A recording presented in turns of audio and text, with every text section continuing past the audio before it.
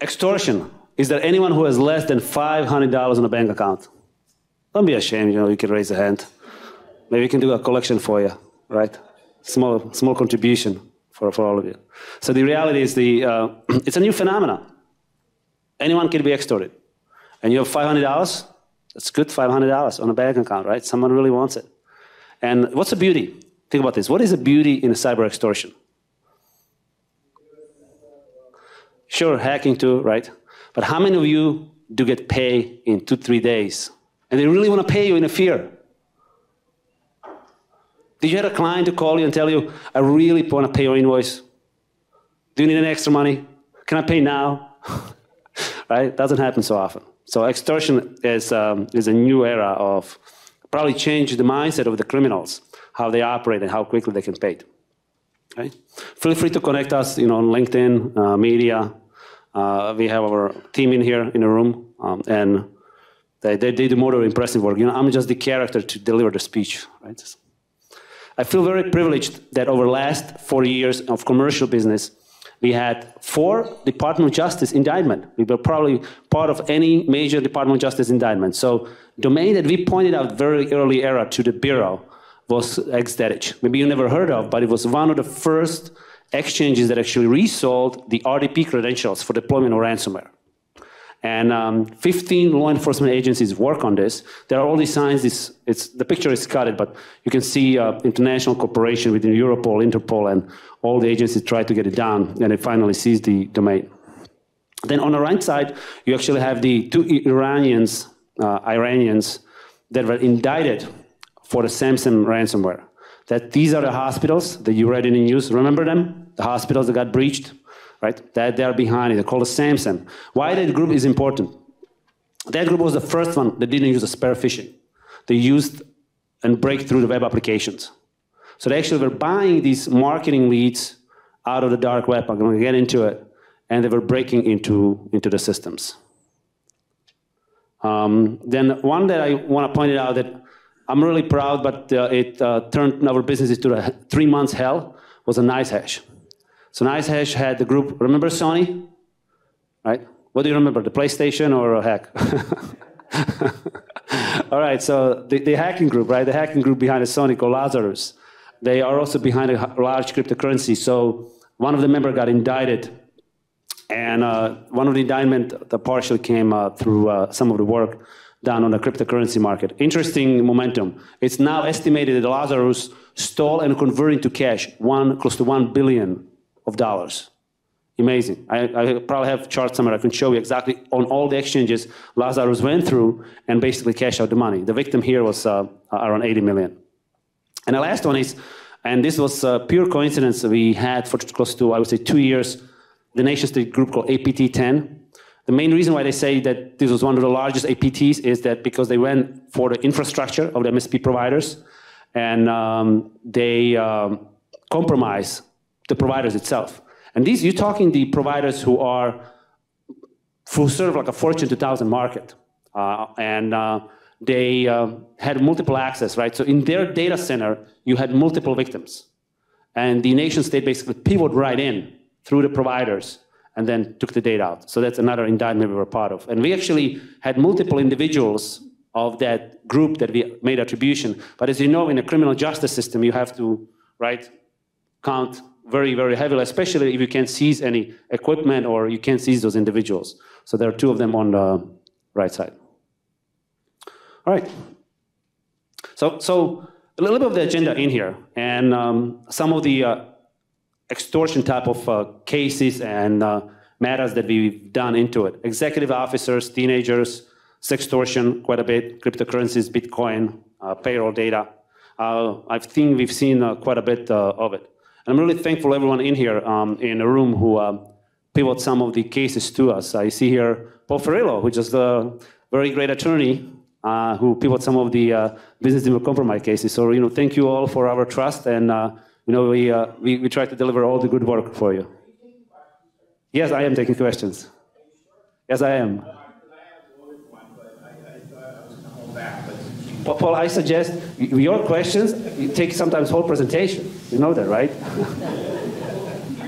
here's, here's the problem that I, I'm asking you to solve for many in the in the organizations. And I sat with somebody today talking about the, the ransomware attacks that were going on in Texas. Why are we five years into the ransomware plague? At least five years. And it seems like we haven't learned how to deal with ransomware attacks. How do we defend against them? And what do we do to make ourselves more secure? Because as you know, and your, your, your files indicate, we've gone from five Bitcoin, maybe 10 Bitcoin, to ransomware payments of $750,000 in the last year. Yeah. Why have things gotten so worse, and what can we do about it, Andre? Mm-hmm. So, a very good question. And so I, I asked someone who is much brighter. You, you, know, Paul, did I tell you that in a school they had a Fulbright and Half-Bright scholarship and only got a Half-Bright? Did I tell you that?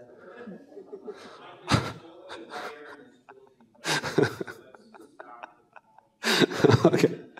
So um, I think um, one of the areas, thank you, Paul. Thank you for uh, kind words, as always.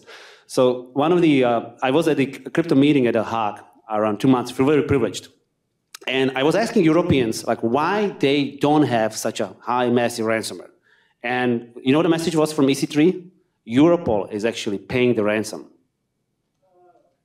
Now, how excited you would be if I tell you tomorrow that FBI agent is going to pay your ransom?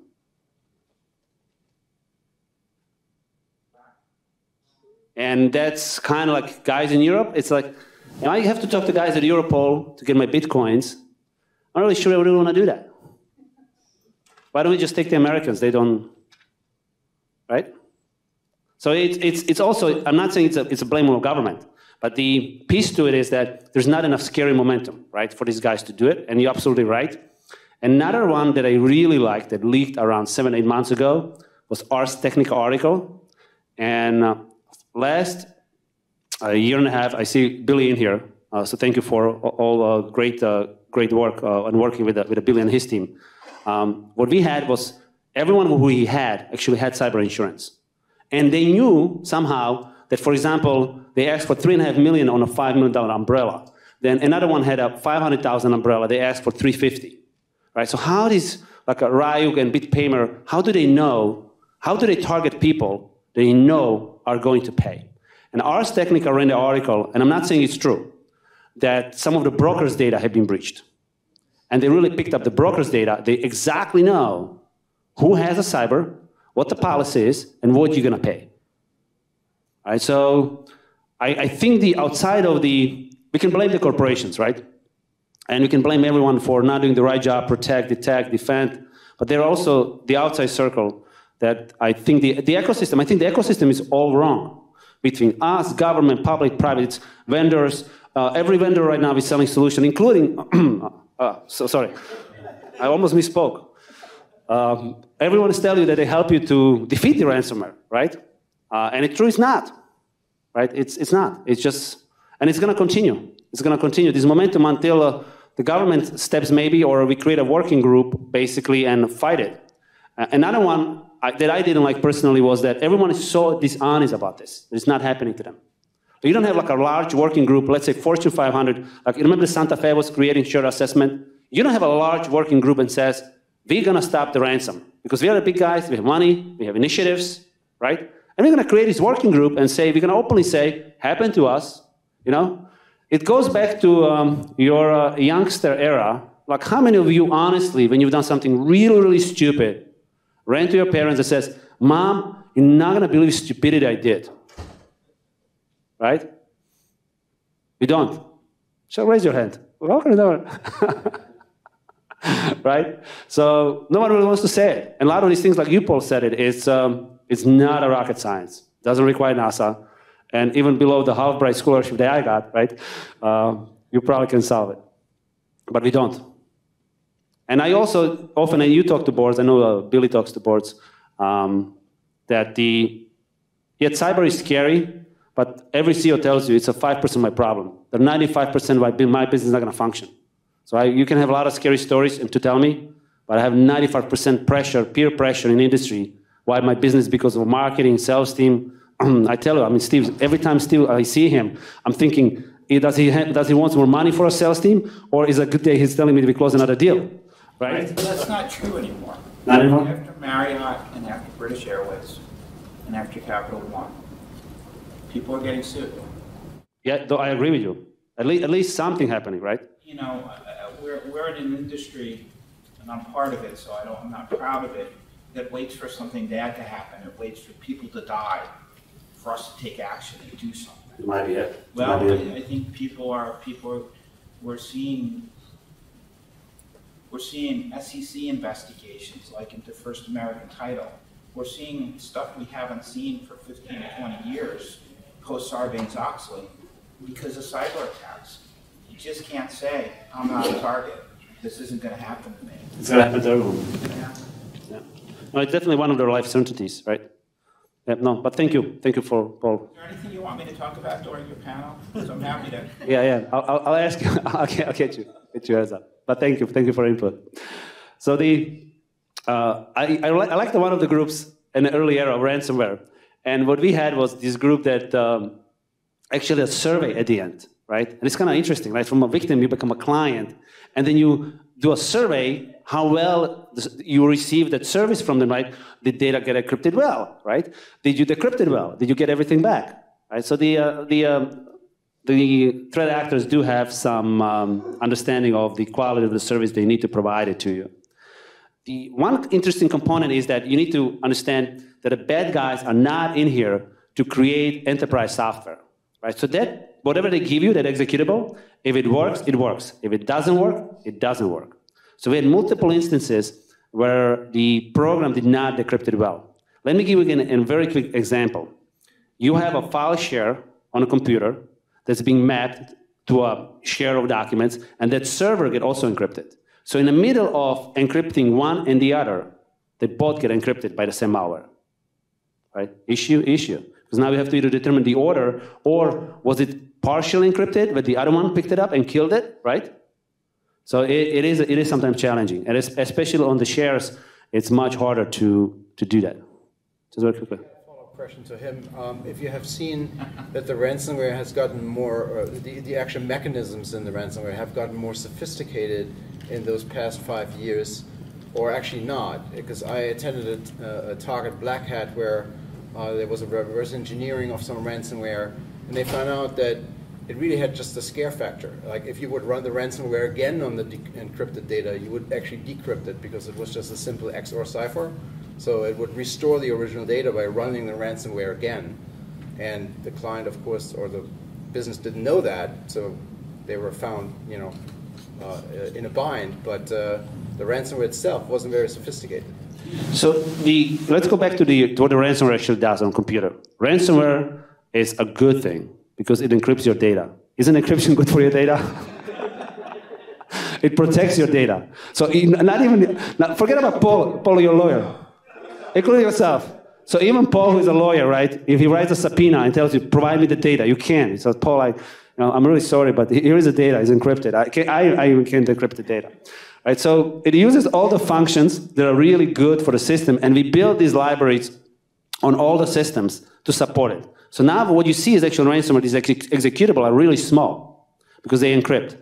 The, what's really evil is the fact when the threat actor gets into your system. Like when you look at a BitPaymer, right? They focus on the Mac computers, pivot from a Mac to the Windows, maybe uh, deploy like a Dridex, some kind of bot into it. Or you see like RDP connections, literally just like xDedic, RDP in, brute force credentials, NSA, elevator, go up, escalated privilege, Mimikatz, right? Pivot in some SQL credentials and spread through the network, right? But then when they deploy that program, that program actually what it does is encrypts your data. Now, most of the programs detected behavior that that function call has been called so many times, 1,000 times or 300 times. Another fact is that a search for DOC, PowerPoint, uh, Excel documents actually being called, and then those are documents being encrypted. So most of the programs actually detect the behavior, not the encryption itself. Because encryption is native. You might have a file system that's encrypted. So that executable is now distinguished from the previous one that we've seen before. Another one, if you look at the Ryuk type of executable, they embed the root certificate in the executable itself.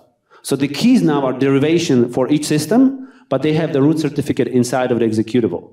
It used to be that you had like what they call XML files with the uh, uh, public keys, and then they extracted the private keys from the system.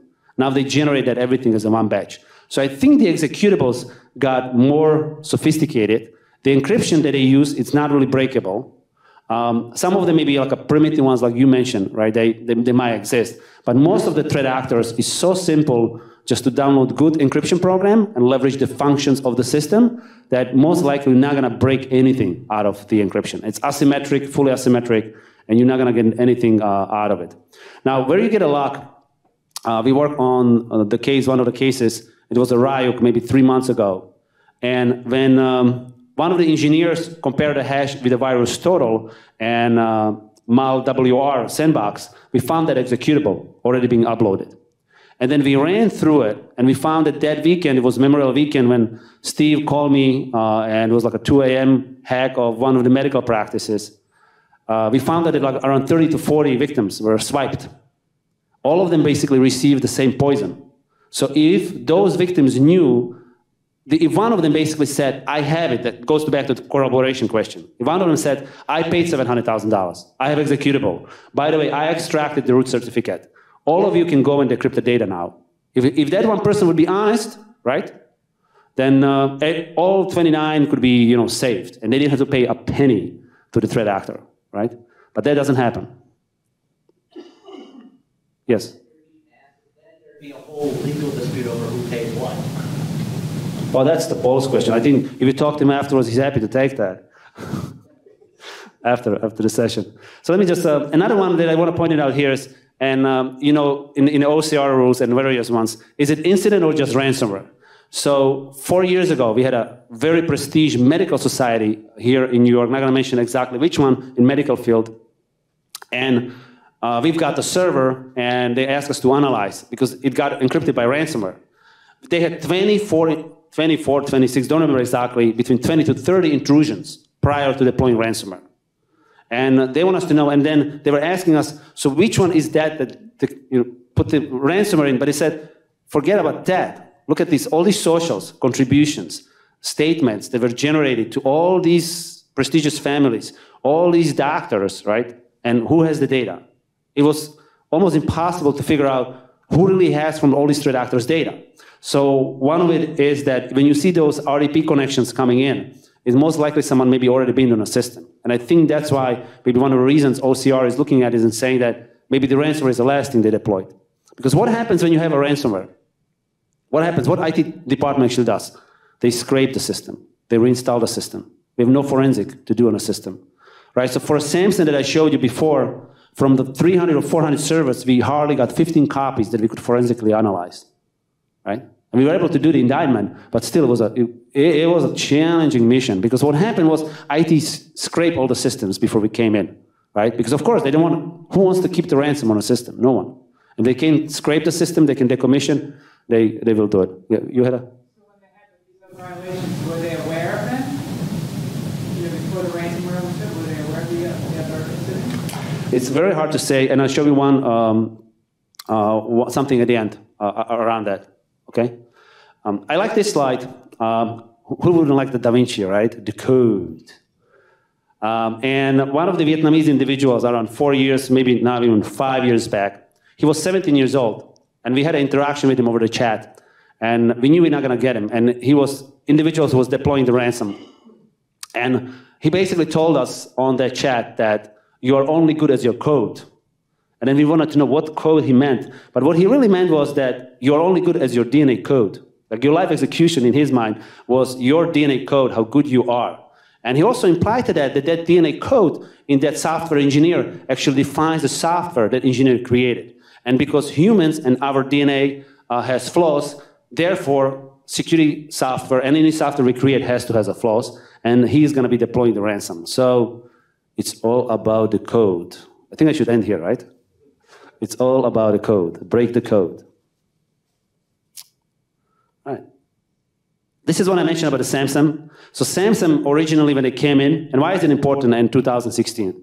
Because they said it's not the best to do the spear phishing. Why don't we look at first on anything that runs Java? Why Java? Java is platform independent. Runs on Linux, Mac, Windows. The promise of the Java is that create a obfuscation layer on the web servers that you can get to any underlying request regardless of the operating system. Great promise, great promise. Great hacking in. So there's a framework called JBoss. So they look around the JBoss, the framework itself, that's being deployed on all these systems, and they figure they can drop any type of a web shell, like the remote connection back and forth into it. And they create a program and they started deploying. So that's the, that's the origin of a SamSam. The idea is not to do a spear phishing, but to become a millionaire, instant millionaire. 70 million, I think, was estimated year one, they did. Right? Massive, massive number. Just breaking into web applications. Very different momentum from the spear phishing. And that, I think that started the entrepreneurial spirit in ransomware that, hey, if you want to really do this, you're going to have a strategy, right? How you go about this. The city of Atlanta, you know, uh, came into them. So this is very good, very well organized and, uh, you know, prestigious group into it. This is the deployment, how they do it, right? So they literally pen test. But this piece is outsourced now. The pen test and an attack is outsourced. They buy this data. And the web shell that we've seen, for example, on those original victims was deployed three months prior to the company got actually um, encrypted and ransomware deployed. Meaning that the marketing team, wherever they were buying the leads from, line up the victims for them and told them, hey, here's a list of victims that you have ready. For each that marketing lead, we agreed you're going to pay us, I don't know, $200. And uh, is deployed. Here's the username and password. Go and test it. You want to deploy ransomware? Go. And then they went back and they looked, looked into it, look, you know, how much they can get, um, and um, what would be the proper extortion for, uh, for that type of uh, entity. Uh, then um, then um, they exploited, basically put the stolen credentials uh, into it on many instances. On many instances that we've seen is the stolen credentials basically are something that was dumped on the dark web, and they basically just found, and they were able to brute force the administrator because he had enough credentials. So for example, I have, my application has close to 5,000 passwords, and I think last time I checked the statistics on that app, it says over 500 websites that I'm part of has been compromised. But the, that app actually generates the password for me, right? So these are random. But imagine if I had to put 500 passwords by myself. There's nice prediction probably in my pattern, right? Because my passwords are very sophisticated. For example, I don't put one, two, three, four, five, six. I put a Q at the beginning, right? And it's very sophisticated. So you couldn't predict that, that very well. Uh, then the, uh, the, the, credentials, if they have them, right, they use them basically, they sign right into it. Some of them credential the JBoss, believe it or not, because the deployment of the patches on that system basically removes the security layer, and some of the patches require you to go and reconfigure the JBoss. So some of the admins just basically rebooting the system, actually enter back some of the credentials they disabled before, and now those credentials are, were available, and the threat actor basically could um, uh, get into and gain access to the system. Very classical deployment with the, with the tools, deleting the shadows, install the Trojan ransom, and basically spread it, right? That's, that's, that's the pace. I like this project, and you maybe never heard of. And I feel very privileged. We tried to find this paranoid individual who created this. We actually tracked him in a country in Switzerland. And we found that he's a part of the Swiss CERT, and he's a, he has a top security clearance. And we've got actually phone call with him. And we asked him why he stopped doing this. It was a really great project. And what he was doing is he created by himself, and he's around 24, 25. We asked him, we ran another event called Qubit Conference in Prague. We wanted to speak. Beautiful mind, beautiful mind. By himself, he created a network of 10,000 computer. This 24, 25 years individual. He created agreements with close to 60 vendors in the cybersecurity space, primarily the malware vendors, he was getting the executables and he created full automation, like detonated automations and all these IOCs. We were using those IOCs very heavily at the early era of ransomware. I wish he continued into it. As you can see, he has, if it's a domain uh, register, you had a host. If it's a malware, right? And he has here what that is. It's, it's, a, it's a C2C communication, it's a payment side, it's a distribution side, right? He made a good classification into, uh, into it. Unfortunately, the project died. He decided not to do it uh, into it. Continue. We are often ask like how expensive that is. Um, and I want to tell you, how many of you would like to digitally die tomorrow? You guys don't? No excitement? Come on, it's not a physical, right? It's just going to be digitally dead. It's kind of okay, no? Because you can be born again next day, right? You just copy yourself, no? Online, like you copy the profile and it's, it, it works, right? So the uh, reality is that, you know, for close to $300, like probably the lowest, lowest digital debt is $300, right? It wouldn't be for someone like a Paul, uh, it probably would be uh, maybe a few zeros into it. Uh, but the uh, re reality is that, you know, it, they, they measure. And if they want to hack you, they're going to get you. It's, how many of you have seen the US sniper unit coin? Have you seen it? And the first um, section of the coin has, you can run. You will just die tired. Called the discipline of finishing, right? So the same here with the ransomware guys, right? When they order, the order is order. It's being processed, right? I'm gonna get you. It's, it's unfortunate, but you know it, it is what it is. But this to give you some kind of idea on the on the pricing, what that actually is. Okay, I want to get into this one uh, because in New York, I'm gonna let you know there are over 300 registered cases of sextortions. They come a lot from these all kinds of dating sites, right? Uh, and these are actually all that are in the public news. There are some indictments here into it. We had multiple CEOs uh, being extorted. And uh, it's the same, same schema, right? In, they go after insurance, they publicity and whatever, right? So it's becoming uh, part of the game on, on the internet, right? So another, another type of the extortion. Right?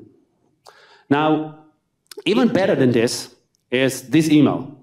And the main reason why I want to show this is how many of you are familiar with the Nigerian princess? Many, right?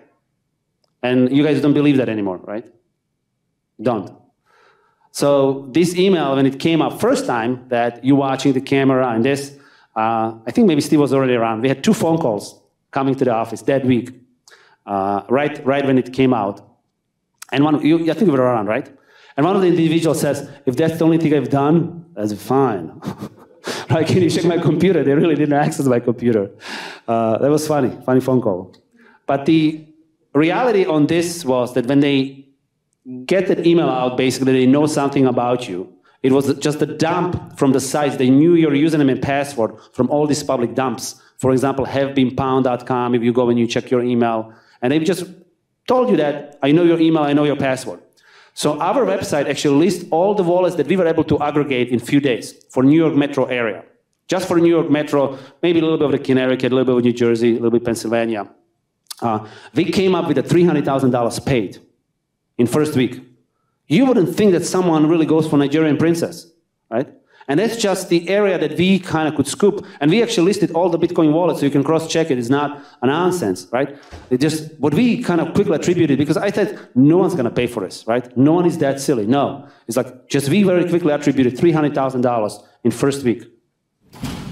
How have combo lists and data breach aggregations changed the kind of value proposition for criminals trying to do this. What do you mean? Can you explain, please, one more time? So, in other words, instead of taking 10 disparate data breaches, someone aggregates them into an easy to access file, and these become, instead of being on a single data breach, mm-hmm. you can span it across, you know, I think there was one list that had over a billion credentials. Yeah, there was a, on the Tor network, and there was a, for the download, right? Um, definitely, but I would say that once those lists are public, you most of the like we downloaded some of it for penetration testing. So our red team likes to download the list because of the passwords, right? And they want to see the frequency, and they also want to get, for example, if you have the password that also have the salted hashes that are really hard to break, right? They like to collect those that, for that reason. So they they like the data breach list if the database had some password and a salt or specific to it. So they, they like that. But the, for sure, but I, I would say that uh, anyone who just goes probably quickly through some of the dumps can create this because there's millions and millions of individuals. I think what's more interesting here is that those emails were profiled, meaning they didn't do millions of millions of people based on a list like, like a single dump. But how did they really profile those individuals through some kind of API to measure the validity of those individuals that they do have some money? Right? It's almost like you can, when you go to store and you swipe your card, so one of the SamSam victims was this company that uh, is in the space of um, uh, uh, consumer service, and they determine how old are you and what are your, what are your buying habits. And that was one of, our, one of the victims. So they for example, at 40 years old, you buy this toothpaste, toothpaste, um, uh, toothbrush. Uh, this is the water that you're buying. What, what are your really buying habits? So this was really profiled. And the Bitcoin wallets, if you look into them, were really just for that specific email. So they use API as a derivation to basically generate just for those specific emails. So I think that was actually more interesting than just to than just a pure dump. Um, this one was kind of interesting. So this is the first example of the franchise. So she is, um, I think she was Brazilian or Colombian, and her video was recorded by some um, uh, threat actors, and she's been converted to 40 languages. She might still be on a Facebook, I don't know, but she's been on a Facebook for a year and a half, and Facebook didn't take her out. Even a lot of the complaints came in. And she basically lured uh, executives, primary executives, to um, do some form of a dances for her while she was doing some of the dances. She's got some qualities. Uh, convince, you know, she, she can convince people to do things for her. And some people did things for her, and then she recorded them, and then she posted them back on internet and uh, claimed them to be uh, sexual predators and all kinds. Uh, not really good, right? On YouTube, be on a YouTube channel in that shape of a form, and then she asked for money. So, but she is a true franchise. She's been converted like to uh, close to like 40 languages. This is the um, where I think it's become very serious, and maybe you, you haven't seen this. This is uh, kind of all from 2014, but I, I, I, saw this maybe like in 2015 or 2016 first time, and I never realized that the major, the, the most exploited population. We talk about a ransomware businesses. The most exploited population actually for the Asian market are teenagers, and uh, teenagers for the reasons that they don't tell the parents, and it's so easy to squeeze the credit card. And there are a few instances where um, I think there was a British teenager that committed suicide, and she was on a seven or eight credit card of her mom. And they were showing, the Interpol was showing the one of the units in Philippines uh, how 30 or 40 people basically went after the teenagers, and they really profile these kids between 15 to 21. And, uh, you know, they get them into some stage where they have to cooperate. They do something really silly, and then they pulling money from the parents, right? So it, it, it's not a large in terms of payments, but it's a great recurring business for the criminals, right? And creates a lot of psychological pressure on those kids to basically make these uh, um, uh, payments. So uh, if you uh, Google this, they literally show, and one of the individuals from that rank basically says that they asked him, he was um, he was the behind that death of that uh, British teenager, and basically said, "They're not people to me." Right, like cold-blooded, basically. He was 19 years old. Said, "These are not people to me." You know, they conducted most of the evil on the planet, and I don't really care. And basically, he was the one who recorded the messages: "Drop dead or make a payment. Drop dead or make a payment." So it, it can get serious. All right, other extortions. All right, um, quite a bit you can find on LinkedIn. But on a LinkedIn, the way it works is um, this is the profile that, for example, I've got. Is uh, LinkedIn had an API, and it was available for some point of a time that basically made an attribution who is who are you the most connected on the network, and your right page, if you didn't have like really effective number, actually pinpointed. So, for example, me and Steve writing messages every day, that API would rank those individuals that I'm the closest with into it. And what you could do then is actually write an phishing emails like from me between those two and get them, right? Not really got to me because you already have my profile, right? You already connected to me. But, but now you can actually tailor the conversations if someone is really active on the social media. So really, really good tool. LinkedIn abolished a little bit of the, of the model. That's my understanding. Uh, another way is to do the way our marketing guy four years ago did it for me. He connected me to 5,000 people, so it becomes obsolete. And now my profile has 24,000 people. Uh, so you can't really do this. It doesn't work. The algorithm is so thrown out of the window with the 24,000 people that you know, it just can can accumulate on the right side. Who should be on the right side, right? Because just window is not big enough to, um, to do that. This is the xDedic that I mentioned before, uh, the, how they look like uh, into it. And this is the schema, how it works. So originally, when they started, they had like the 70,000 hacked servers, uh, various RDPs. The allegedly the server here in uh, for the Big Four, if you recall, there was a hack into the Big Four into the exchange environment, and they had a credentials that it came in through the RDP. Was on this website for half a million dollar. It was the highest, uh, one of the highest uh, uh, prices for the RDP type of a server that was uh, sold on uh. And it's basically was a, for many years this was the marketing tool for ransomware. So basically, even we had one of the departments in the city here that Steve and I was involved in a city that does the cleaning here. Called us on Friday that on Saturday the trucks are not going to run. Uh, remember the Italians, like when they had the garbage in the streets. Um, so we had to um, do a little bit of a cleanup. But the turned to be that they were listed also on this site. They were sold basically on on this site on xDedic. Uh, another sign uh, Russians was, for example, Happy Hack, right, with the, with the prices.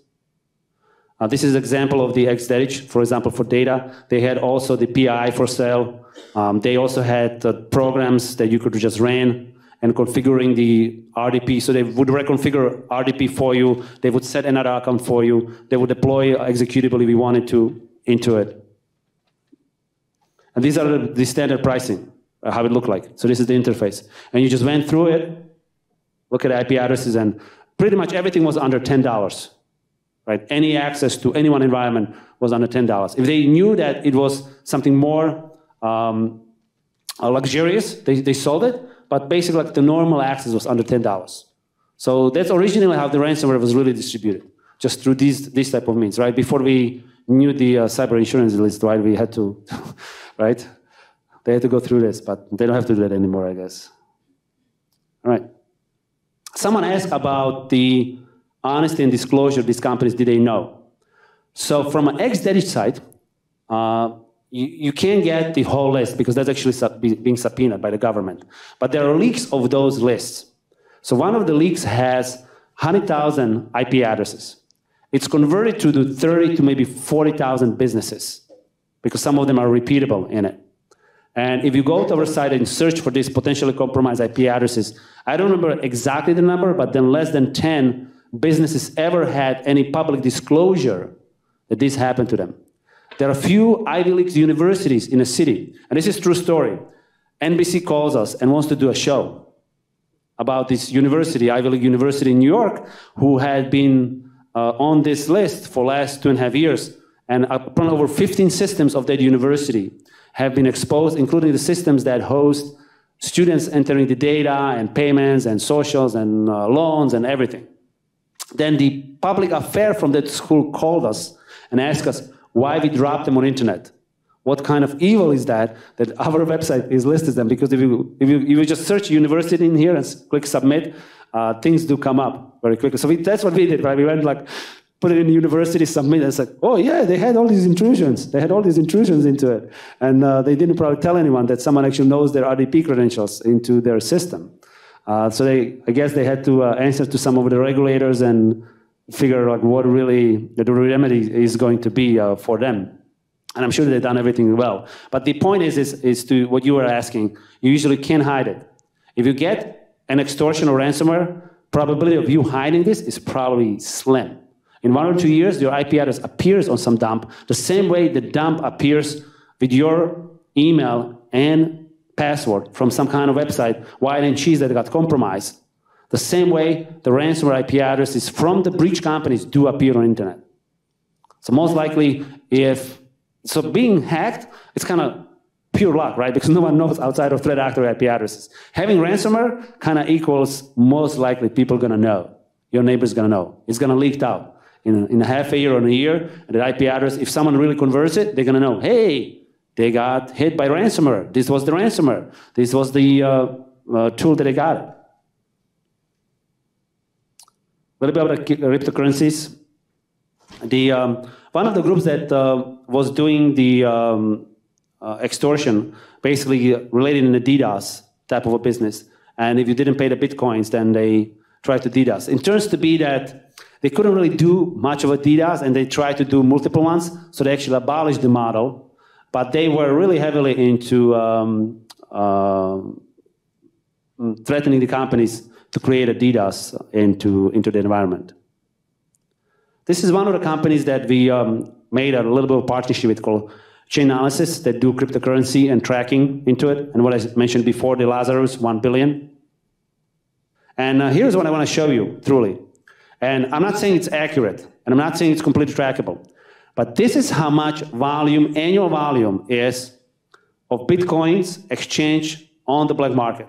If anyone is asking you what the Bitcoin is really used for, if you look at it in here, close to 700, what, millions?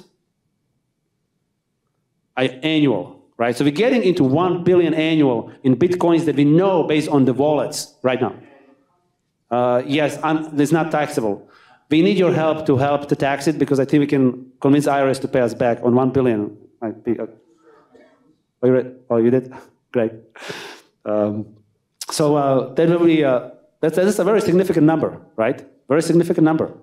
And of course, the, the trading volume and anything else outside of, the, outside of it um, is, um, is, is different. But that gives an idea, like where if someone tells you he has a lot of bitcoins, maybe what he's really doing. So if you look in 2017, in April of 2017, uh, Bitcoin was at $1,200. And at the end of mid-May, it rallied up to $2,200. That was because of the uh, WannaCry virus in uh, Europe. And then if you look in October, it spiked up to 4,000. That was because of Equifax dumping the data. And then and if you look at the end of 2017, the CME released their futures on uh, Bitcoin. So it actually was a, an, an, indicator, the price of Bitcoin was an indicator of cybercrimes. Mm-hmm. Well, definitely. But I would also say that they just want to get paid in Bitcoins, right? So the price, the price is great if the price fluctuates, but they want, for example, um, in some of the cases that we had like recently, and um, is that they basically told you we want four hundred thousand dollars in bitcoins, right? And then you convert it to the bitcoins, and then you actually pay them that in bitcoins, right? So they have money. They have money in uh, in a mind. Uh, this is, for example, daily activity, right? All right, so I don't want to leave you blind, right? Because everyone always says that I have these scary stories. So I have a couple, of few slides, few suggestions for you, right? What to do. So what do you do if you are hacked? Uh, if your company is hacked, like how would you remediate the situation, and uh, what tools do you use for the cyber risk? Some of the slides um, I like to repeat. So uh, if you uh, already seen them, fine. If not, uh, it's okay. I like this slide, right? And how do you know you've been hacked? Right? Um, so, going to my point with this slide is there was a company um, in a uh, government entity ran in Iran, and the threat actor was so desperate to tell them they've been hacked. So they started rebooting their computers. They were um, performing all kinds of actions on the computers, but not, none of it was too obvious to them they've been hacked. So they decided to play ACDC Thunderstruck on the computers. So my point to you is that when your computer is playing music on its own, it's time to wake up. Okay? It's, it's you really been hacked, right? It's not just rebooting itself four times a day, right? You've really been hacked. You have to pay attention to this. Um, but also, point is that the uh, each of us has so many tools, so many different things, and everyone tells you why it would not happen to them, right? The can you avoid cold? Can you not get a cold? Right? You're going to get it. You're going to have something. So we live in an era where you get a cyber sickness. You just don't know if it's going to be cyber cold to cyber cancer. You just don't know. You don't know what you're to get. Right? And the fact that you that companies thinking, no, it's not to happen to us, it's you're to get it. You just don't know what you're to get. And when? Of course, you don't know when. But it's, I would say now it's a life certainty that your data in between you are here and your molecules disappear in universe are going to be breached. You can be positive about it. It's like 100%. It's like one life certainties. You know, on, a, on your born certificate, it should be like data breach record, right? Maybe, right? New, new category. So what you should really do, right, when you are hacked? I like this slide, right? Um, and main reason for this is imagine your relative is in the emergency room and they're doing, performing some kind of surgery to him. Are you allowed to every 20 minutes to enter the operating room and ask, hey, how is he doing? What is really happening to him? No, you're in the hallway, right? Somehow when we're doing these cyber investigations, and attorneys can tell you, every half an hour they call you, what is happening? Where we are? What is this? Where we are, right? Everyone is so impatient. By the way, everyone knows better what your job is. Everyone can critique your job, right? It's almost like a Superman, everyone is flying and I told you, I told you, I told you so. So many times we talk about this, never happened. Remember these passwords? None of it is relevant at that point. This is the period when you really need to become, and uh, yes, we had a great run, all of us, right, in a job. So let's keep it that way. Uh, when you update your resume, I'm sure you can find another job. Um, but the momentum that we created in this industry is that everyone understands everything is not really good, not healthy for, for, uh, for conducting this type of forensic work on investigations, because we actually don't. And I tell you, I don't know much. And I always learn from people like Billy, Paul, and everyone. And I'm listen to them, right? I'm always listening to them. Because you can't be expert in everything. It just doesn't exist, right? And the same for the executives, for the companies. You need to have a patience. Like things did happen for a reason, right? And it's a normal process. It's if someone was hacking you for a month, why do you think the forensic company can do this in three days? Really, is that what the SOW is for three days? Right? Then maybe I need to update my resume and look for that business who can do something in a three days. It's not going to happen in three days, right? When you have a surgery at a hospital, what happens? Right? They're going to patch up your knee in emergency room. Then you're going to go to hospital and you're going to go to rehab. How many years? Two? When you start really running well? Year and a half? Maybe. So why do we think in cyber we can do everything like in split of a second? Because this technology is just digital, and that's, this is the misconception that it's much harder to overcome with executives and explain them that no, you can invest it into this, but you know to do this right, this is a process. It takes time. It's not going to happen tomorrow. It will not happen tomorrow. And we can create a not beautiful SOWs for you, but it's going to take a time to address it. The third one important is how to remediate is that every company has a culture. And to every company that you come, it's, it's what they call the, like a tribal leadership or um, you know, when they do these experiments, like the guy dancing around the fire and then everyone is dancing, and you ask them, why are you dancing? They said, well, because he's dancing, right? And no one really knows what the dance is about, but that everyone is just mimics that dance, and that dance is a culture of that company, the signature of it, right? Uh, so every company has it. Every government has it. Every organization has it. And you can't really, really you can't be really judgmental uh, into the organizations just because they have that type of culture. You need to be understanding of that culture and have the reasoning. Okay, so it happened to them, they're victim. Now, how can you help them? And I remember on my old era, when I started at the mathematical physics department, one of the scriptum had a text when a conversation between son and father. And father was telling to his son, son, people who can't explain them correctly to you and you don't understand them are idiots. Do you understand me? No, dad.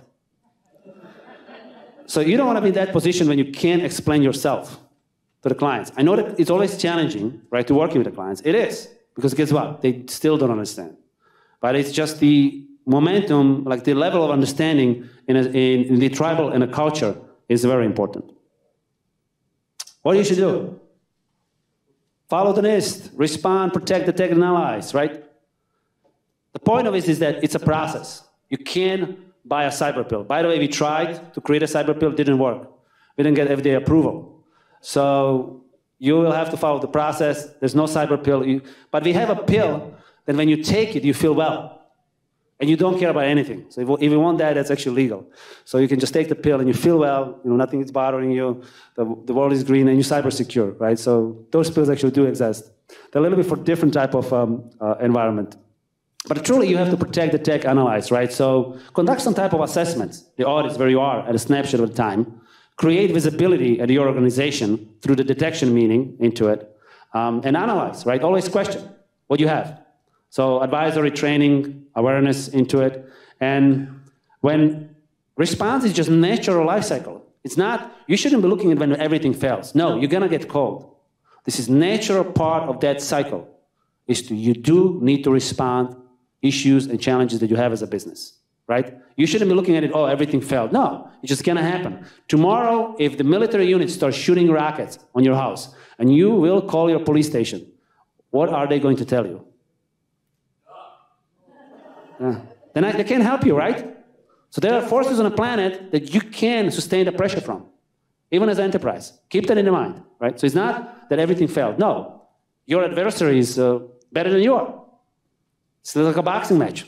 You lost the boxing match. Just sit.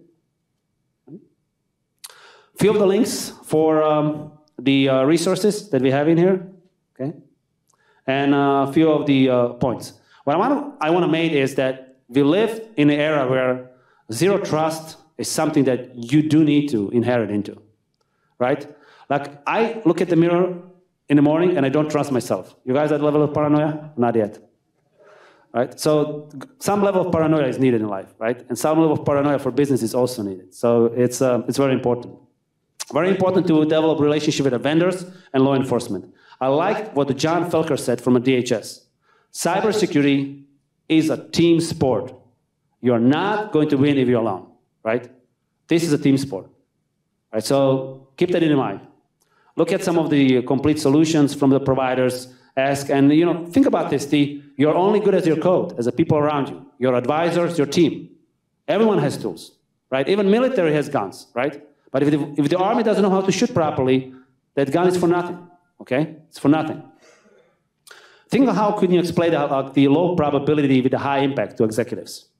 And practice, training, practice, training, practice, very, very important. And you're always going to have the unknown unknowns.